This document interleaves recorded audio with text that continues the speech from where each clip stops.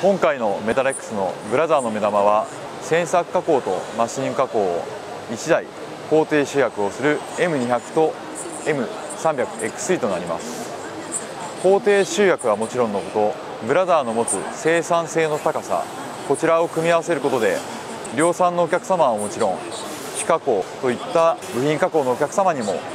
幅広い分野で貢献ができる機会となります。はい